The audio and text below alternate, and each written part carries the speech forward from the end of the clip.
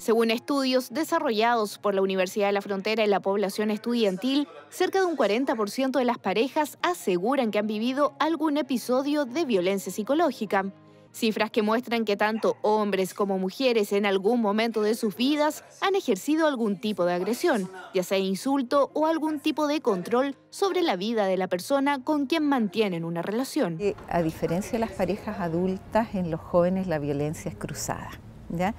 Y es un tema que ha sido un poco polémico, pero si uno ve los números, las chicas también agreden físicamente y psicológicamente. Para evidenciar si se está siendo víctima de algún tipo de maltrato, las señales que se deben tener en cuenta, según la especialista, son el querer ejercer control sobre la pareja, prohibiéndole que se reúna con amigos y familiares, además de revisar sus cuentas de Facebook, WhatsApp o correo electrónico, atentando así contra la libertad de la persona. Muchos jóvenes lo lo connotan como una preocupación por el otro, ¿ya?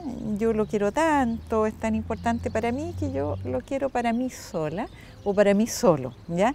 Y por lo tanto no quiero que comparta con otro, ¿ya?